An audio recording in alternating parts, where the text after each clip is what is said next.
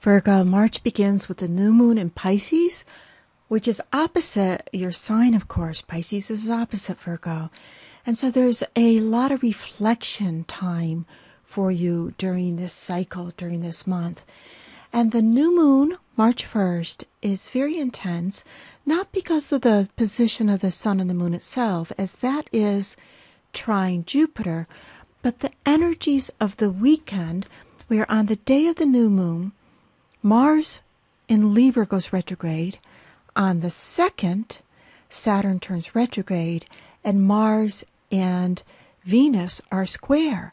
So there is an intensity between this Saturn energy, which is this depth of what are you going to do about things, making things real, being serious. It's in your solar third house of communication, so you could start to rethink how you want to communicate. If you're a writer, you could go back to doing some writing or learning new things that help day to day functioning, like computer programs and all that mechanical stuff that changes so quickly in the world. The Mars Venus square. Now, Venus is what we love, what we want, what we desire. Mars is our will to do it. And for you, Venus is in the what's called the solar fifth house of hobbies, what you love to do, love affairs, joy. And Mars in your solar second house of money do you have the money to do the things you love to do? Or, or do you have the will to spend the money to do the things you say you want to do? That is a large question that will continue until we get to the full moon. Now, on the 5th of March, Venus goes into Aquarius. And that is an air sign. It lightens things up. And Aquarian energy is quincunx your Virgo energy, which is 150 degrees away, which is an adjustment. So you could be making some adjustments to the things that you love, especially in terms of your habits and your routines.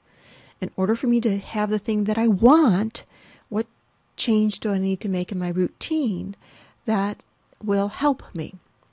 Jupiter goes direct on the 6th in Cancer, it's when uh, any planet goes retrograde or direct, it has this laser focused of its vibration down to the planet. And it's in a placement of connecting with friends, connecting with groups, connecting with organizations, and have an opportunity there. The full moon on the 16th is your full moon, the moon in Virgo.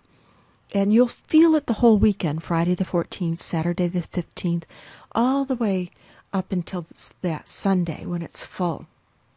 And that full is balancing between what you need to do for yourself and having others in your life and, and even what others expect from you. So having a good balance. And also, how much do you want to give? How much is your life of service, of compassion, of caring? The sun enters Aries on the 20th, about 1 p.m. Eastern Time, bringing this fire energy. And fire is inspiration, bringing the sense of inspiration into life. So you could start to feel a little bit more inspired, but also it is, again, it's in this Queen quincunx position. Aries to Virgo is just like Aquarius to Virgo's Queen quincunx adjusting. What's the adjustment? This is an area of life that represents money you owe others, taxes, credit cards, loans, and even other people, and also joint resources. It's the house that represents the money from your partner if you're in a partnership, whether it's a marriage partner or a roommate partner, who's going to, how are we going to split the cable bill? So it's making, there could be some adjustments in those arrangements. The month ends with a new moon just like it began, and it's intense but for a different reason. The new moon is at, if you look at it, 9 degrees 59, basically 10 degrees of Aries, conjunct Uranus and wants freedom. I want change. I want something different. I want to, it's a very impatient. It's a very impatient energy. I'm just ready. It certainly will be. I'm, I'm ready for a change. I'm ready for fresh air. I'm ready to go out and if you're in the northern climates, of the equator. it can be already really ready for good weather. And it's square Pluto and square Jupiter.